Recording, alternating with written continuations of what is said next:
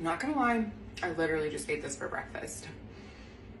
With sun shining, perfect time for filming in the bright sunny morning. Not a bad breakfast either.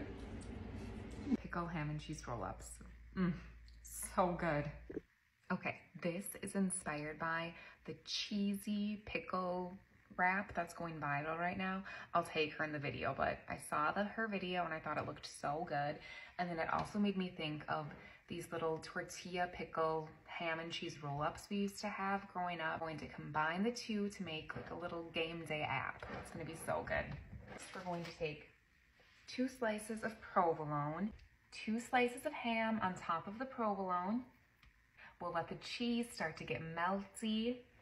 The cheese is getting nice and melty, so now we're going to add two whole dill pickles. And cheese kind of wrapped around the pickles. I'm just rolling mine. Now we're gonna let the cheese get like nice and toasted. Okay, let's mix up the honey sriracha cream cheese filling. So first, let's make a hot honey sauce just with some honey and some sriracha. Mix it up. Let's make the cream cheese layer. We're using Philadelphia whipped cream cheese because it's far better than just the regular stuff. Get a big scoop out.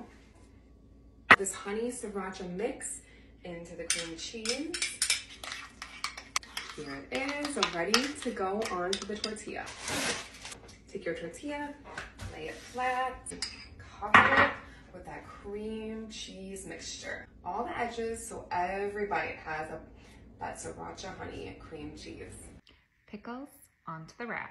We'll roll it all up. Let's slice it up and give it a try. So you want it in cute little rounds like this. Let's give it a try. Mmm. I'll have another.